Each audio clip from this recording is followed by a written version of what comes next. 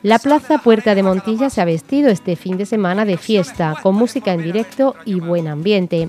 Se trata de la vigésimo sexta edición del Pórtico de Feria, un amplio programa de actuaciones en directo que comenzó el viernes 5 de julio con la participación en el escenario del grupo de baile de la Peña Flamenca El Taconeo el coro anfitrión, el coro de Prudencio Molina y el coro de la Hermandad del Rocío de Córdoba, que después de algunos años de ausencia ha regresado a este pórtico de la Feria de Montilla.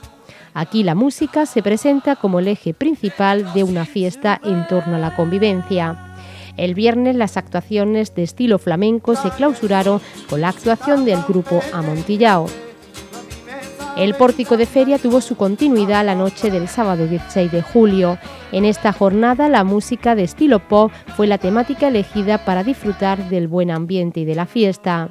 La noche se abrió con la actuación del cantautor montillano Iván Feria, el grupo por rock popero y se clausuró con el grupo Dreaming Sound.